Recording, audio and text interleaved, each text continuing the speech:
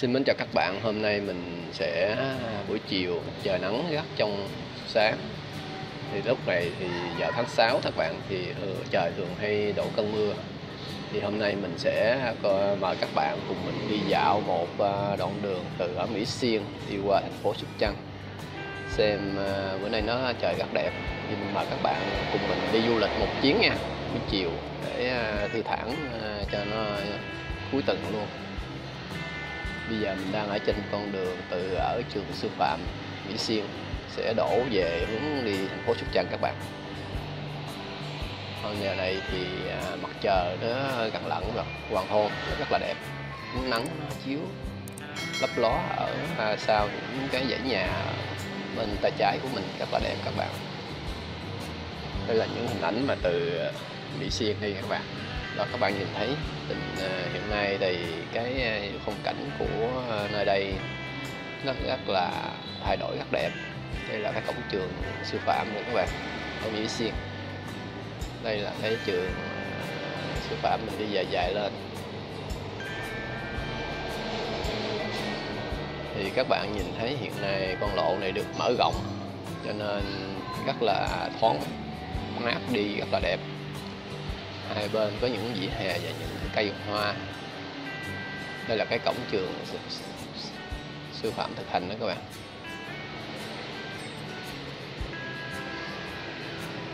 Thì cái à, đoạn đường này thì cái trường sư phạm rất là rộng kéo dài từ ngã ba Mỹ Xuyên chạy dài đến đến đây đây các bạn.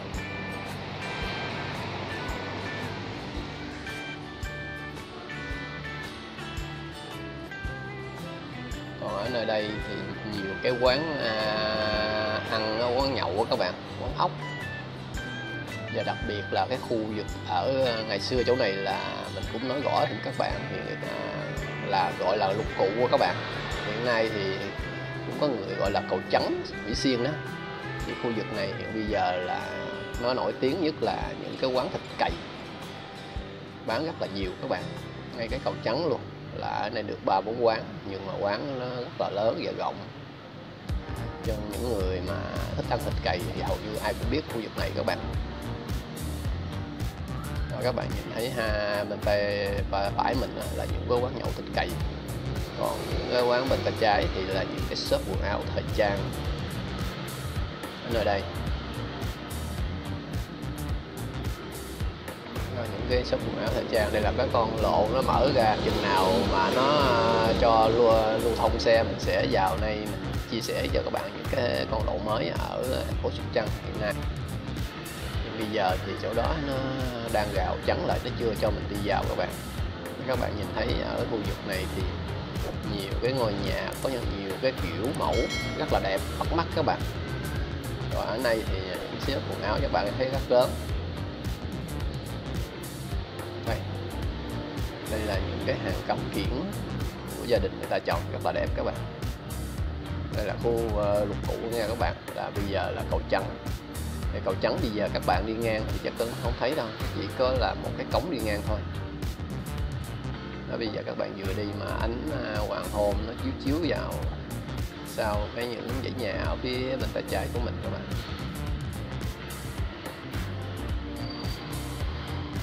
Đó, nó đang xuống, trời đang xuống. Từ từ là mà ờ, kết thúc một ngày nữa các bạn ơi. Hôm nay thì mình sẽ à, mời các bạn à, cùng mình đi du lịch ở khu vực này. Trời thì nó rất trong sáng rất đẹp. Cho nên mình à, dạo một vòng để chia sẻ đến cho các bạn những hình ảnh này.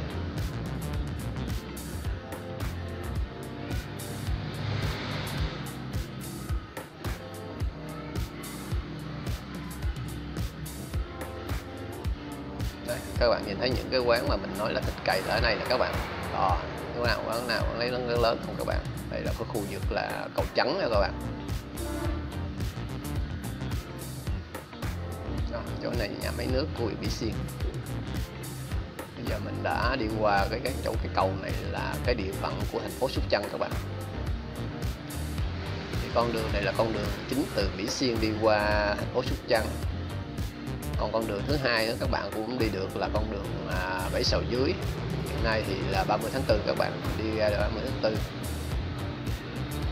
đây là cái cổng à, chào của cửa ngõ Mỹ Xuyên các bạn. Hôm trước mình có à, chia sẻ các bạn rồi.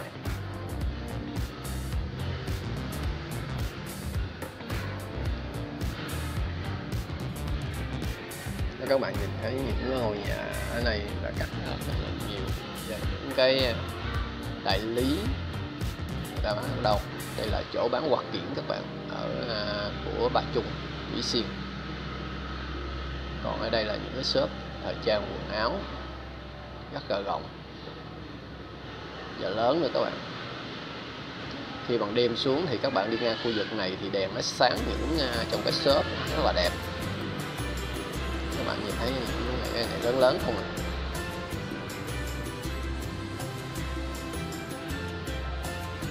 Cái bệnh viện mắt nha các bạn, của của Sóc Trăng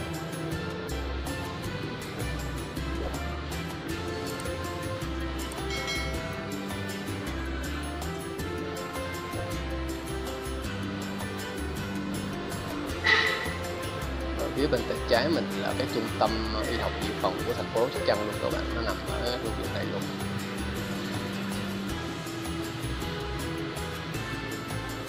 qua cái sân này là các bạn à, thấy bên tay à, trái có một con đường đi vô đó là trung tâm y học dự phòng của thành phố Sóc Trăng.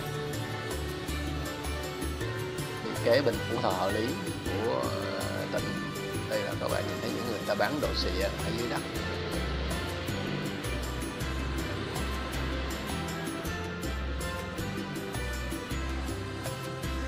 Đó, các bạn nhìn thấy chỗ cái hẻm này nè các bạn thấy trung tâm y học phổ học của thành phố Sóc Trăng này cái cái cái, cái à, khách sạn Gia Sông Hưng này.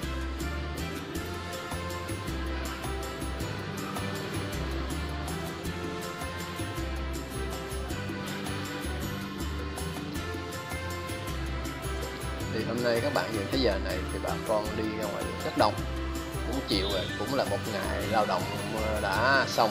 Thì giờ này người ta chuẩn bị một số người thì người ta công chuyện rảnh rỗi trước người ta có thể đi ờ, vào trong hồ nước ngọt để mà thể dục. Còn một số thì người ta đi làm chưa về.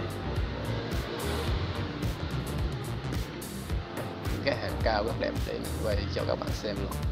Công chuyện chỗ này là cái nhà gỗ nha các bạn.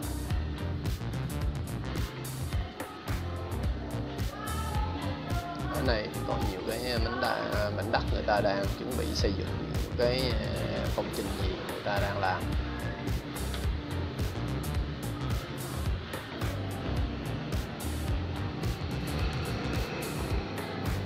Đây là cái chỗ mà mình sẽ nói cho các bạn sẽ biết là ở phía trước này nó dẫn tới cái chỗ mà bán quạt kiển của thành phố Sóc Trăng rất lớn.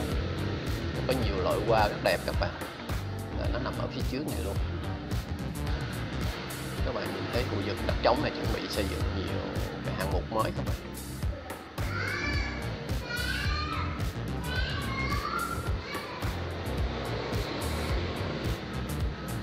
Các bạn nhìn thấy những cái cảnh này rất là đẹp. Đây. Đây là cái à, chỗ mà mình vừa nói với các bạn là hoa kiển lớn của thành phố Sóc Trăng này các bạn. Hiện giờ các bạn thấy ta lại sĩ hàng ở nơi đây rất đông những chiếc xe này người ta chở cây kiển đi bán đó các bạn. Đây đó, chỗ này bán hoa kiển của thành phố Sóc Trăng rất lớn các bạn.